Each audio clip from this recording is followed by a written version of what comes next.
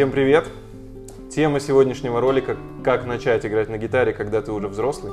Или другими словами, а, как научиться играть на гитаре по-настоящему хорошо, если ты не начал заниматься этим с детства, а пришел к этому в более осознанном, сознательном возрасте. Как начать этим делом заниматься и добиться каких-то серьезных результатов.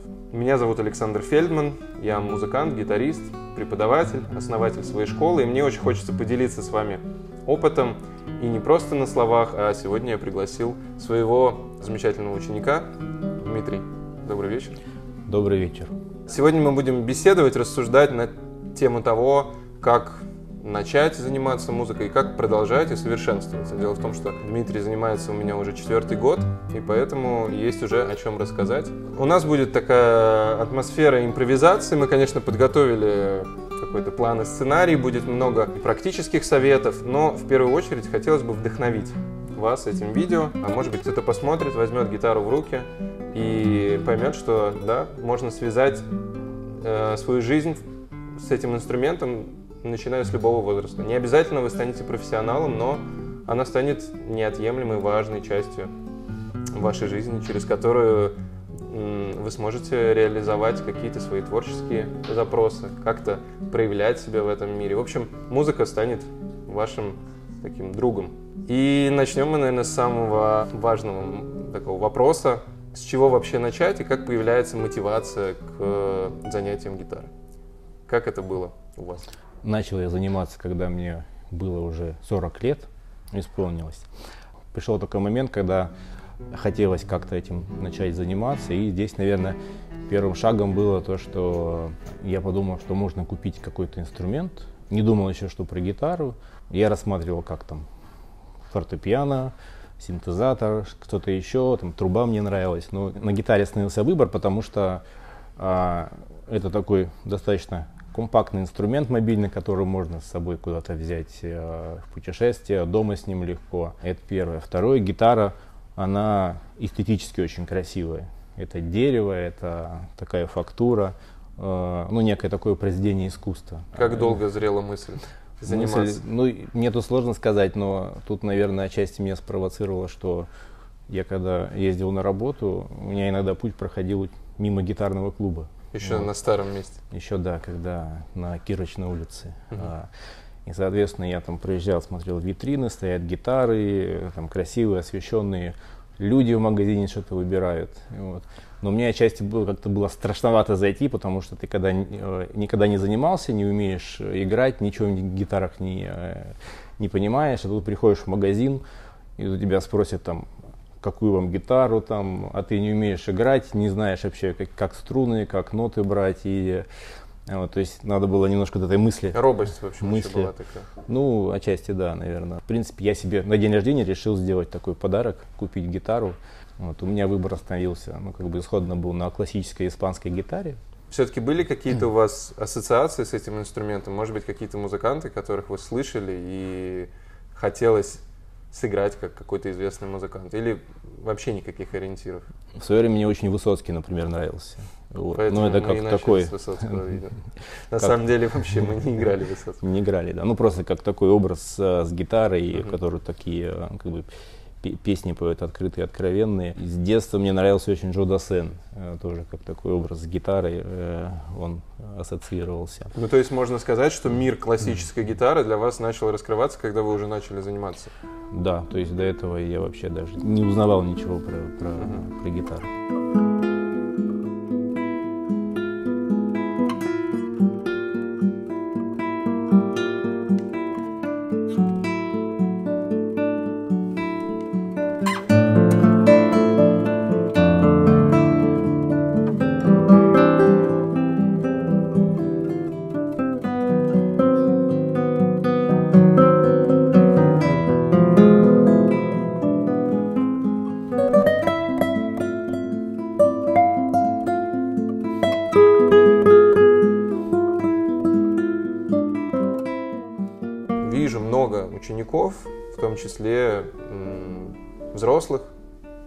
Старше 30, старше 40, которые приходят, и они мне задают прямым текстом вопросы, а возможно ли вообще научиться? А стоит ли мне начинать? Я думаю, что это какой-то такое предубеждение.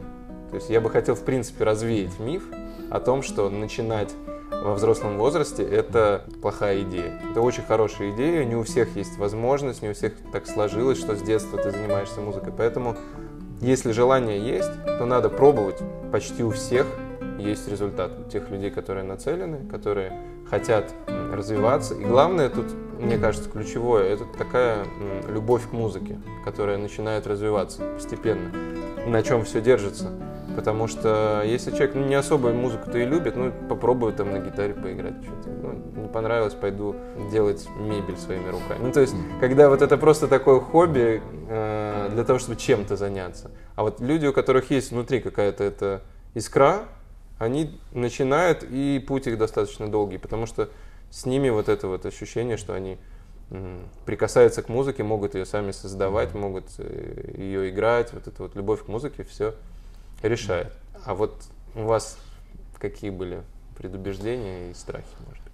Ну, предубеждения, конечно, были. Наверное, самое такое основное, то обычно люди идут заниматься э, чем-то таким музыкой, еще какими-то искусствами э, с детства. Идут в музыкальную школу, потом музыкальное училище. А во взрослом возрасте ты уже как будто бы... Мы чахнем, и нам ничего Как будто бы, да, ты уже там зачах, и уже ты ни на что не способен.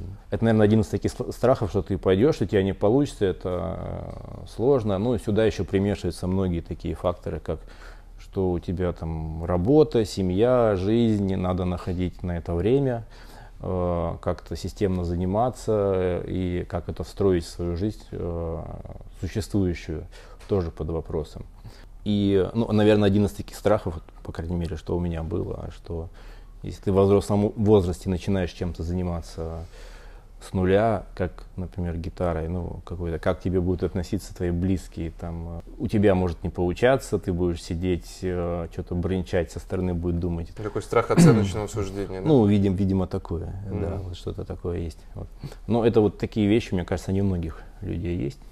Но что меня как бы, в этом плане смотивировало, когда ты про себя думаешь, но я понимаю, что мне сейчас уже 40 лет, и в принципе, желание заниматься, играть наверное, лет там с 20 или даже там с юношества такое было, да, вот как-то себя выражать. Начинаешь думать, вот мне сейчас 40, пошел бы в 30 лет там учиться куда-то там на какие-то курсы или что-то. Сейчас, бы, сейчас бы уже играл и что-то бы делал. Вот. При этом, если так чуть пошире подумать, то можно мысль перенести, что если сейчас тебе 40 и ты не умеешь играть, а потом тебе будет 50, и ты точно так же будешь сожалеть, что ты не пошел э, в 40 заниматься, то это как бы такая мысль на будущее. Если ты сейчас начнешь, э, ну, в то, любом то к 50 никогда. годам ты уже будешь маститым музыкантом. Да, я тут хочу добавить, так вдохновить э, слушателей, зрителей наших. Э, вы знаете эту историю. У меня был ученик, э, который пришел в 78 лет ко мне заниматься с нуля. И ну, он сказал сразу мне, что я мальчик взрослый, и если нет, так вы мне скажите, что нет. Но дайте шанс попробовать. Я ему там дал стартовые упражнения, дал ему гитару на месяц, чтобы он что-то начал делать. Через месяц он приходит и играет все упражнения, которые ему дал. Я говорю, ну вы не оставляете мне выбора. И вот он три года прозанимался и достиг своих результатов, выучил ноты, разучил по нотам свои любимые романсы, играет для своего удовольствия. Сейчас ему уже за 80, и он продолжает это делать. У человека не было возможности это сделать из-за огромного количества работы. Он там начальник большого предприятия был, всегда мечтал, и вот к пенсии наконец-то. Вот, поэтому, когда ко мне приходят ребята 27 там, или, я не знаю, 25 Молодые. и говорят, да, а, а не поздно ли я начал, я сразу привожу этот пример и как бы все сомнения отпадают. Итак, давайте подытожим. А, если говорить про мотивацию и про предубеждение и страхи, то я бы сказал так, что никогда не поздно начать играть на инструменте, если вам по-настоящему этого хочется. Важный момент, что когда вы настраиваетесь на занятия, то обязательно нужно для себя представлять, что этот процесс будет не быстрым. И это хорошо. Он будет продолжительным, потому что вы должны будете привыкнуть к инструменту, начать э, осознавать какие-то вещи. То есть, когда меня задают вопрос, а можно за 8 уроков научиться, за 16 уроков? За 2. Начинали торговаться. А за 24 можно? И я всегда отвечаю, что невозможно, ну, чему-то, конечно, можно, но если вы всерьез хотите освоить инструмент, это продолжительный процесс, от года точно. Вот. И это не должно вас никак отпугивать, потому что если вы правда хотите заниматься музыкой, вам будет это в кайф. Вы просто будете все больше и больше познавать. И таких вопросов не должно возникать. И будь то игра на аккордах, или там вы занимаетесь классической гитарой, э, фингерстайлом, в любом случае, если вы хотите чувствовать инструмент, какое-то мастерство нарабатывать, то это от года и вот дальше если представить, в музыкальной школе, да, это происходит там, 5, 7, 8 лет, потом училище и так далее. А, ну, не пугайтесь этих цифр, просто наслаждайтесь процессом. Вот, Дмитрий, как у вас? По факту, вот сейчас я уже занимаюсь 4 года, и э, за эти 4 года я э, владею какими-то техническими приемами, немножко знаю теорию, э, могу читать ноты там, но очень медленно, но я могу играть какие-то уже произведения, которые я там выучил, достаточно свободно и как бы в такой в кайф, что ты от этого получаешь а удовольствие. А главное выражать себя через это произведение, не, ну, да, уже да, в да, какой-то да. степени, да, не просто прочитать текст и... Да, да, да, ну, собственно, это такое вознаграждение, которое ты получаешь, что ты можешь уже какие-то эмоции получать от игры и э, как-то выражать себя, владеть какими-то средствами выражения через музыку. Угу. Поэтому не ставьте себе такую цель, что я должен быстро научиться. Кайфуйте от процесса и каждый этап будет интересен чем-то новым. Всегда будет открываться да. новое что-то. Но здесь цель такая, играть какой-то, не знаю, быть профессионалом, она долгая, да, но когда ты э, получаешь кайф от самого процесса, что у тебя что-то начинает получаться, угу. э, вдруг там у тебя пальцы не двигались, начинают двигаться, не получалось там играть музыку, начинает получаться. Вот это, собственно, приносит такую э, обратную связь, такой кайф, и оно, оно начинает тебя мотивировать, как бы подзадаривать, что у тебя получается. И ты можешь двигаться дальше. И дальше перейдем к практическим таким более советам, поделимся опытом. Конечно, первую очередь нужно выбрать первый инструмент. Выбор первого инструмента, я вот буквально несколько слов скажу. А, важно выбрать инструмент при игре, на котором вы будете уже получать удовольствие. То есть, если вы выбираете прям дрова-дрова, взять что-нибудь самое дешевое, чтобы что-то попробовать, это неправильный путь, просто потому что вы не получите удовольствие, и у вас будет Э, соответственно, негативный опыт и неправильное представление о том, что такое вообще гитара. Если вы не хотите сразу тратить там большую сумму, школы, ну, например, наша школа дает в аренду инструмент, чтобы первое время поиграли, и когда определились, уже взяли приличный себе инструмент. То есть я бы так сказал, что не надо брать очень дорогой инструмент, возьмите тот, с которого, э, на котором приятно, который хорошо звучит, Э, у которой есть какой-то динамический диапазон, играть удобно, все, и это достаточно. Давайте расскажем про ваш первый. Я хотел себе приобрести классическую гитару, э, просто потому что классика – это классика, как бы особо я ничего другого э, ну, не, не, не знал. Да, значит, выбор, собственно, пал так как бюджет, ну, как обычно, был ограничен, я ориентировался на такой средний ценовой сегмент. Вот. Я даже не знал, что это есть массив, там э, ламинат, они чем-то сильно отличаются. Я, собственно говоря, из такого сегмента выбрал две гитары, елку и кедр. Попробовал, ну, елка мне понравилась больше, она более такая поярче. звонкая, да, более поярче. Собственно говоря, я ее приобрел, э, и это была достаточно такая удачная покупка. Э, и с этой гитарой, наверное, я три, три года, э, ну два года прям активно только и на ней занимался. Ну, то есть это говорит о том, что надо взять инструмент, на котором вы можете поиграть хотя бы э, год или несколько лет, чтобы был какой-то у него запас, потенциал, а не так, что э, вы уже научились играть какие-то вещи, а гитара не позволяет. То есть вот вы до какого-то предела за два с половиной года. Да, но инструмент чем, чем хороший для новичка, э, ну как для меня вот персонально оказался, тем, что это достаточно хорошая гитара. Э, даже то, что это ламинат, э, это в некотором роде не минус. Когда ты берешь первый раз гитару, э, ты особо не паришь всякие там увлажнители, гитары там ведут, не ведут. Ламинат в этом плане проще за ней ухаживать, она более стабильная, ее так не корежит. Как... Ну, забегая вперед, да, потом Дмитрий начал приобретать разные mm-hmm. инструменты, экспериментировать, пробовать, вошел mm-hmm. во вкус, так сказать, и уже мы отдельно об этом расскажем. Да, ну, ну ты когда берешь гитару, вот э, новичок, ты мало что понимаешь, куча-куча всяких мнений, там э, видеороликов одни говорят, там, дорогую, другие говорят, там, недорогую, там, массив, не массив. Ну, в принципе, такая гитара среднего сегмента, хорошо сделана, там хорошей фабрики, она для новичка дает некую фору на, наверное, там 2-3 4 года uh-huh. э, для того, чтобы просто ну, дойти до, до возможности этого инструмента, потому что все равно нужно там технику звукоизвлечения, научиться на этой гитаре э, играть, и э, ее хватает там на, на 2-3 года э, таких активных занятий, пока ты не почувствуешь, что можно поменять инструмент и не начнешь смотреть что-то другое. Вот, да, просто. я бы хотел еще сформулировать основные критерии. На мой взгляд, ну, я уже сказал, что он должен быть удобный, у него должен быть приятный тембр.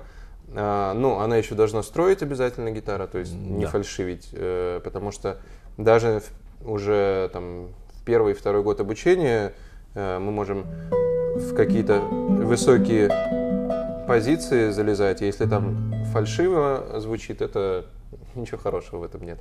Вот. И плюс динамический диапазон, потому что когда мы работаем над звукоизвлечением а, и хотим, чтобы мы играли не просто все наигрывали средним звуком, а могли какой-то э, различный звук извлекать из инструмента, над этим сразу же надо работать. Если гитара не дает таких возможностей, то ну, получается стопорится развитие. Развитие, да. да. Вот. Ну и она, такой инструмент вполне можно рекомендовать, либо аналоги в этой ценовой категории каких-то других брендов вполне достаточно. Первый шаг, который вот конкретно у меня был сделан, я себе приобрел гитару, и вопрос, как заниматься дальше. А, то есть можно, допустим, попробовать заниматься самому, потому что много всяких там школ, видеоуроков, курсов, да, я смотрел а, какие-то начинал смотреть музыкальные школы, которые там рядом к дому, но базовые вещи, вот, наверное, для если ты начинаешь играть, это исходно, как я решил, что нужно позаниматься с э, хорошим педагогом, потому что ну, это просто сэкономит, в принципе, и время, наверное, и деньги, и позволит тебе быстрее начать, э, чтобы не сделать каких-то ошибок. И, соответственно, потом, если получается, можно там и самому начать и заниматься. Я тоже за то, чтобы начинать заниматься с педагогом, и особенно на первоначальном этапе, потому что есть такой аспект постановка рук, и когда ко мне приходят э, ученики которые либо учились сами, либо, может быть, им неудачно поставили руки э, у другого педагога. Это очень сложно, переучиваться очень сложно. Потратьте свое время и ресурсы на то, чтобы хотя бы на старте получить профессиональные советы. Дальше, может быть, вы сможете как-то сами совершенствоваться, вы уже посмотрите, как пойдет. Но первоначальный этап, несколько месяцев хотя бы, это прям обязательно. Важно найти человека, с которым вам комфортно, который вас вдохновляет. И здорово, если он сам играет, и вы можете послушать его творчество.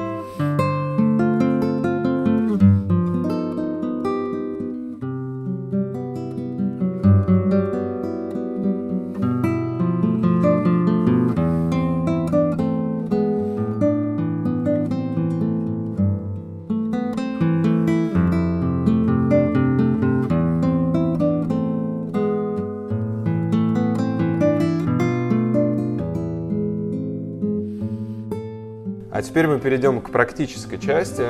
Это, наверное, самое интересное. И, конечно, в рамках э, видео невозможно рассказать все. Это происходит на уроках, можно проходить целые курсы. Хотелось бы сказать о тех вещах, э, без которых нельзя. Чтобы вы, когда начинали заниматься, вы могли бы свериться. Об этом со мной говорят, это мы изучаем. Значит, что вы идете, скорее всего, по правильному пути. Если представить вообще музыкальное образование, то музыка это целая наука, и там, конечно, не только исполнительство на самом инструменте, это только часть. Есть история музыки, есть теория музыки, есть сольфеджио, есть более сложные предметы, как гармония, полифония и так далее. Но не пугайтесь, что этого так много. Просто имейте в виду, что параллельно с освоением инструмента ваш педагог или другой преподаватель должен в том числе начинать затрагивать эти темы. Без них никак. Ну, а начнем мы с выбора первого произведения, которое вы хотите сыграть, потому что помимо скучных упражнений должно быть что-то, что вас по-настоящему цепляет. Пускай это будет небольшое произведение, но оно вас вдохновляет, и вы должны постараться за небольшое время научиться его играть. В нашем ну, да. случае это было... Отрывочек был из э, Пака де Люси «Меж двух вот». Да. Очень важно, я хочу еще сказать, что попробовать поиграть то, что тебе нравится, что тебе хочется, там, неважно из какого это э, стиля музыки, но вот попробовать ощутить и сыграть вот хотя бы маленький кусочек, но того, что ты хочешь, э, что тебе близко, и это прям начинает мотивировать и подталкивать тебя двигаться дальше. Да, специально для этого видео мы решили вспомнить э, этот фрагмент, который получилось сыграть вот через 2-3 месяца после начала обучения. Попробуем кусочек? Да.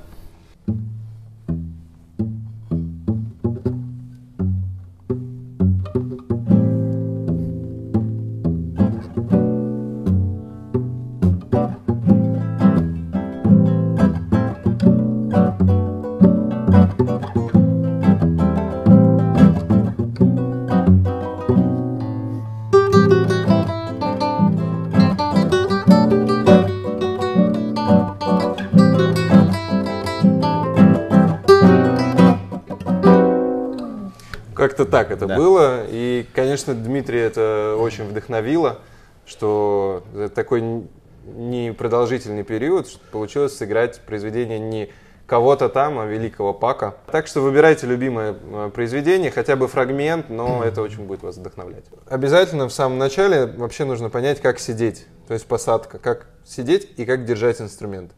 Посадки бывают разные, эстрадные, бразильцы играют так, фламенкисты играют так. В общем, куча разных вариантов. Мы какой-то усредненный возьмем, классический, с подставкой под э, левую Ладно. ногу. Тут важно обратить внимание на два момента. Э, правая и левая рука.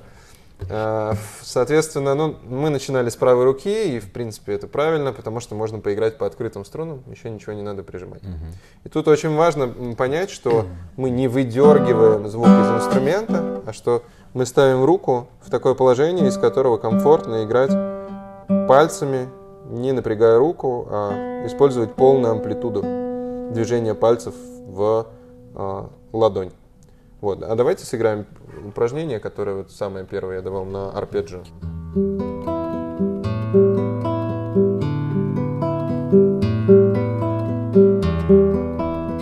Ну и так далее. То есть базовое арпеджио, в котором мы уже играем и бас, и остальные звуки, используем все пальцы, да? И тут уже можно работать над качеством звука, над контролем струны, чтобы никакие не выдергивались э, отдельные струны, чтобы не возникали никакие акценты и так далее. То есть над ровностью, над качеством звука и над тем, чтобы, в принципе, рука была расслаблена и не напрягалась. Вот. И это надо делать прям долго, пока вы не почувствуете комфорт в этом деле. В нюансы не будем забегать, сразу перейдем к э, левой руке. В левой руке важно э, понять, что работают все пальцы, когда мы играем, не только один. Самая частая ошибка это, что один палец прижат, а остальные пальцы где-то гуляют либо под грифом, либо уходят вниз, либо еще куда-то. Первое базовое упражнение, которое я всегда даю между большим и средним пальцем, такое колечко, и мы играем на каждом ладу, пытаясь сыграть это ровно, четко, и при этом остальные пальцы у нас не куда-то убегают, а они рядом с средним пальцем вторым. Чтобы вы потом могли играть всеми пальцами на всех ладах, на всех струнах.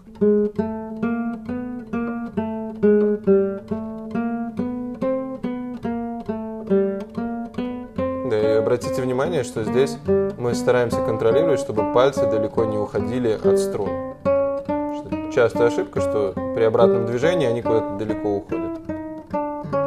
Это непросто.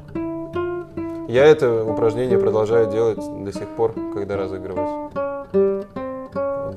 Мизинцем еще можно продолжать следить. Постановка рук и базовые такие упражнения нельзя пропускать. Э, Нужно посидеть на этом просто, чтобы начинать чувствовать правильную механику движения и следить за тем, чтобы ничего не напрягалось.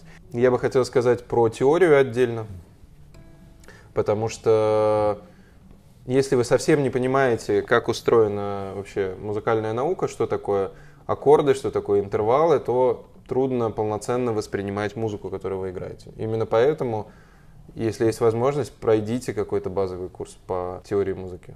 Мы вот с Дмит- с Дмитрием занимаемся периодически такими какими-то заходами параллельно с э, гитарой, еще и теорией. Я не знаю, насколько это уже вам помогает, но мне кажется, что без этого никак.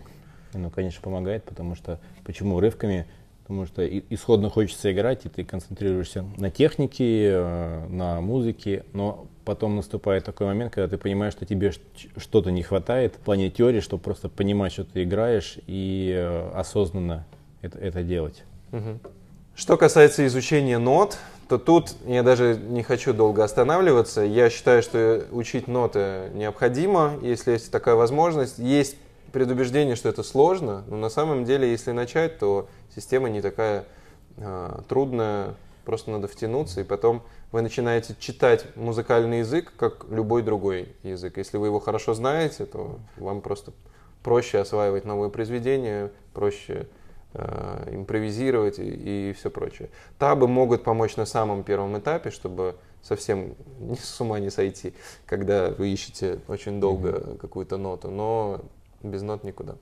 Итак, звукоизвлечение. Без этого, конечно, никуда. Гитара такой инструмент, что непосредственно касание пальцев э, струн влияет на то, какой получается звук. Если говорить про звукоизвлечение на классической гитаре, то, конечно, принято играть э, с ногтями на правой руке. Это многих поначалу смущает. И я даже помню, что Дмитрий вначале не хотели, да, вы по-моему, сходу ну, отращивать да, так для мужика отрастить ногти непривычно и неудобно в, бы, в быту начинаешь за Тут и проверяется, насколько по-настоящему хочется э, освоить это искусство. Да. Но ногти не обязательно должны быть прям большими, длинными.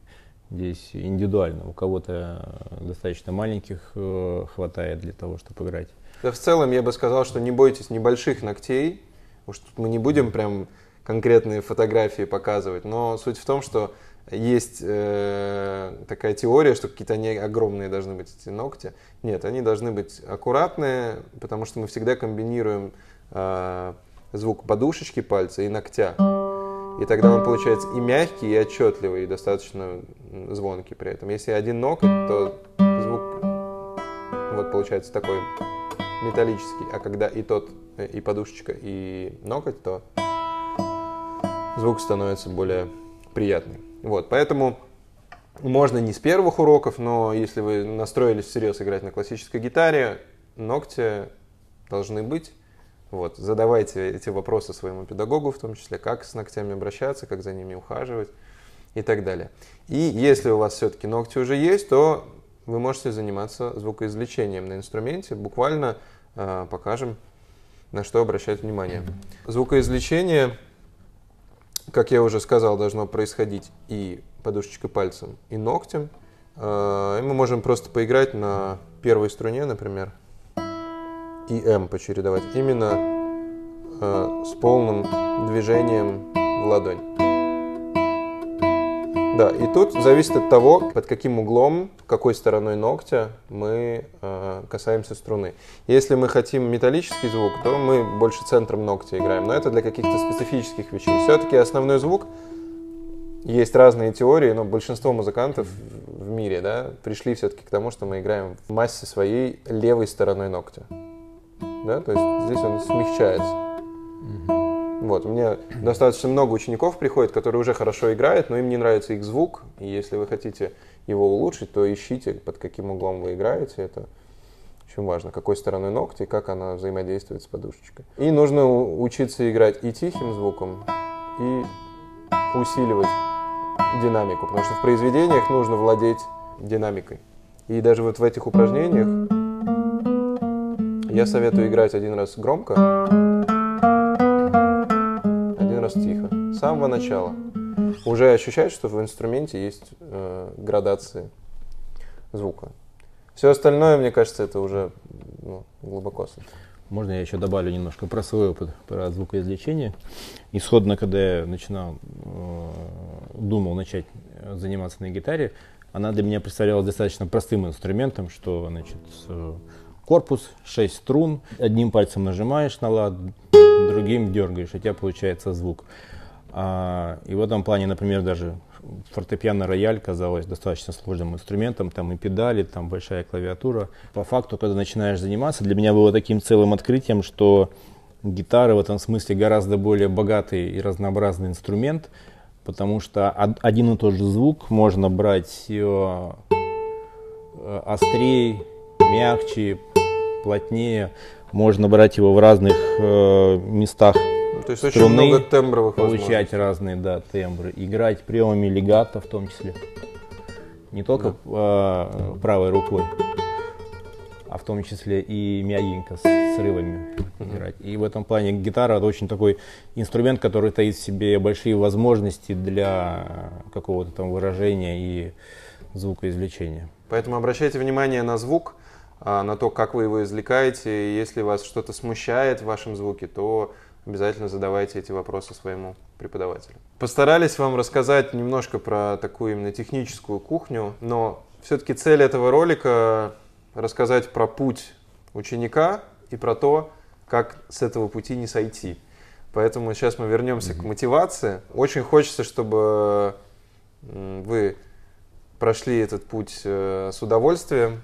Поэтому какие вспомогательные вещи есть, чтобы оставаться в струе, чтобы не терять это вдохновение? Ну, я бы не сказал, что прям такие вспомогательные. Э, Если тебе интересно, и ты начинаешь заниматься, даже если начинаешь делать какие-то простые упражнения, э, например, э, играть просто такое упражнение, то оказывается, что особенно вот в верхних позициях, здесь, да, расстояние между ладонями большое, и тебе не хватает растяжки. Либо берешь какой-то аккорд, который тебе показывает преподаватель, и у тебя просто так руки все изгибаются и скорячиваются, и тебе кажется, это невозможно просто сделать. А по факту один, два, три буквально дня ты пробуешь, и у тебя вдруг начинает получаться, и оно тебя мотивирует, что ты еще вчера не мог, позавчера, а буквально 2-3 раза поупражнялся, там 2-3 дня, и ты уже можешь какой-то брать аккорд, играть какую-то там гамму, какой-то фрагмент музыкальный. И ты понимаешь, что ты можешь двигаться дальше.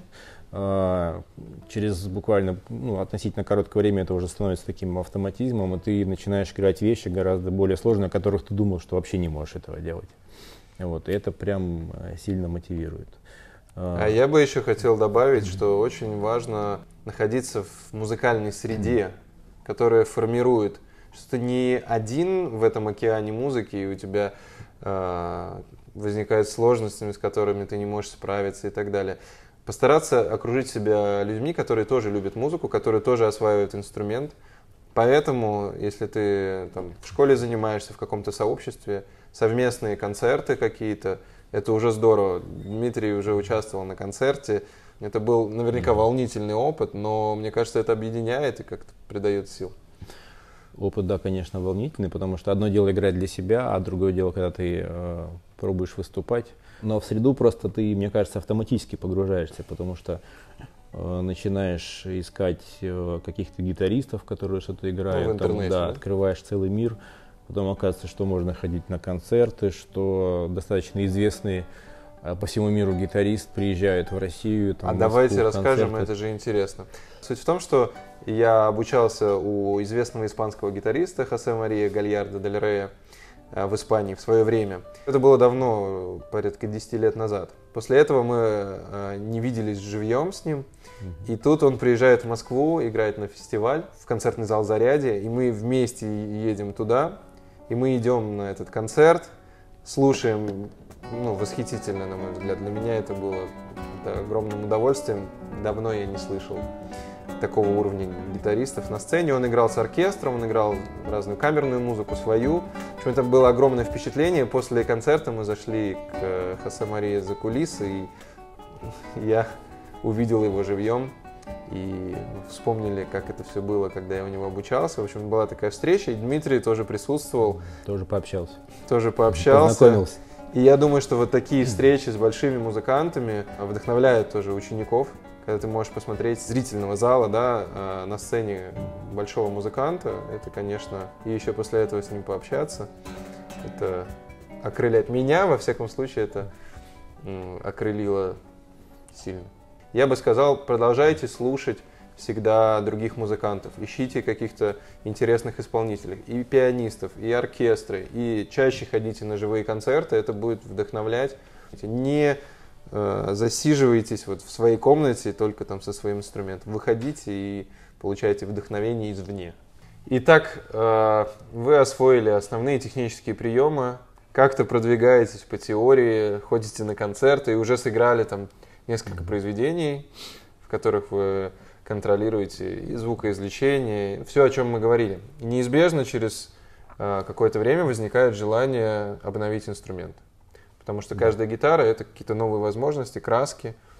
И мы чуть-чуть расскажем о том, как это происходило у Дмитрия. Как я это вспоминаю, как у меня было, э, когда у тебя есть инструмент, в принципе, нормальный, на котором можно хорошо начинать заниматься, то его хватает, наверное, на там, 2-3 года. И когда нарабатывается какой-то опыт и э, ну, знание, понимание, э, такое, что ты начинаешь чувствовать разницу между э, разным звукоизвлечением, чувствовать как бы струны, инструмент, то неминуемо тебе хочется пойти что-то попробовать другое. Ну вот по моему опыту, раньше этого все равно тебе не захочется идти там на чем-то играть. Да ты не поймешь. Да, да, да. Именно, потому что не поймешь, не сможешь почувствовать эту сильную разницу. Вот. При этом, естественно, если тебе нравится, ты смотришь. А есть гитары такие мастеровые, фабричные, там дорогие, дешевые, интересно услышать, разницу между ними, там струны, карбон, нейлон, такой производитель, такой, да, погружаешься. Да, глубже. Вот. Но ты должен дойти до какого-то уровня, когда ты начнешь чувствовать что, вот эту разницу вот своими пальцами, своими руками, uh-huh. и тогда тебе захочется э, поменять инструмент. Э, я играл на вот этой гитаре начальной своей первой, наверное, два года, и следующее, что я поменял, это испанская гитара массивная, Prudенция, э, да, Science. Э, массив, ну, когда играешь на нате, конечно, хочется попробовать массив. Что такое массив? Вот. Еще раз, да, артикулируем. То есть с ламината перешли первый раз на массив, да, и да, да. уже услышали качественные. Да, ты понимаешь, изменения. что есть разница. Ну и, соответственно, дека была э, ель, а та гитара была кедровая, и ты начинаешь чувствовать разницу. Угу. И начинаешь ощущать э, то, что разный гриф, э, разная там э, тембральная окраска у этих инструментов. И следующее, что у меня было, что мне хотелось, я играл на двух классических гитарах, вот, но э, захотелось попробовать. Привлекает э, фламенко как, как по себе, да, вот ты сам знаешь, жанр, да? Сам жанр, да. Э, ты играешь на сосне с палисандром, на кедре, и мне захотелось попробовать вот именно что такое фламенко, как Давайте покажем. да, с особым звуком, с другим деревом. И следующая гитара, которая у меня появилась, мне пришла рассылка. Ну, так получилось, что пришла рассылка тоже от гитарного клуба. И я увидел вот эту гитару фламенковую. А, чем они отличаются? Такая классическая, то, что она сделана из кипариса. Когда ты видишь просто вот это вот дерево с а, фактурой этого кипариса, оно как бы так Ну, есть фламенко бланка и фламенко негра. Да. Это для тех, кто захочет углубиться, да? Но вот это бланка, она, она классика. Вот. Да. И я просто даже ее увидел по картинке, э, влюбился в нее, пришел, увидел, понял, что надо Победил. ее взять, попробовать. Вот, еще она так пахнет а, кипарисом. Это звук, конечно, тембральный у нее другой у этой гитары. Вот, ну вот я такую свою мечту реализовал.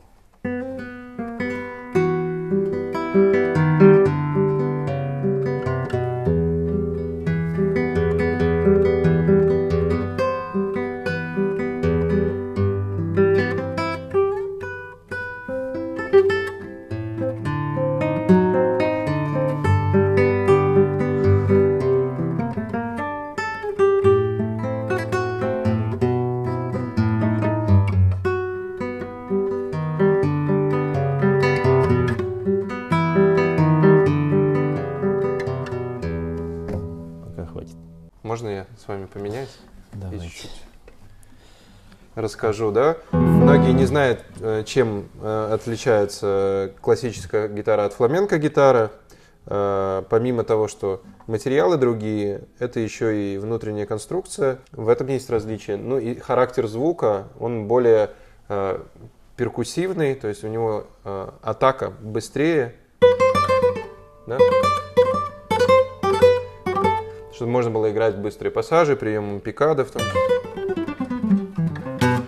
можно себя в новых направлениях искать, не только в классической музыке, но и в э, других жанрах, ну, не только, кстати, фламенко, можно играть на ней босса-нову, еще какие-то жанры. Ну, ну, то есть это... классический репертуар тоже, на любителя. У нее немножко другой тембр, более такой э, прозрачный, открытый. Я это воспринимаю как э, фламенковая гитара, когда играет, она где-то ощущается вот здесь в груди у тебя, э, легкая, прозрачная такая музыка. А когда играет классическая, более такая тембристая, басовитая, ты ее чувствуешь как-то более глубоко, вот на уровне живота, и она такие более такие что ли, глубокие ощущения у тебя создает. И на этом Дмитрий не остановился, так сказать, вошел во вкус и приобрел буквально еще через несколько месяцев еще один инструмент, на этот раз уже мастеровой.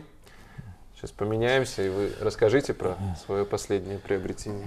Гитара это уже мастеровая испанская. Мастер у нас Густаво Адольфо Феррер.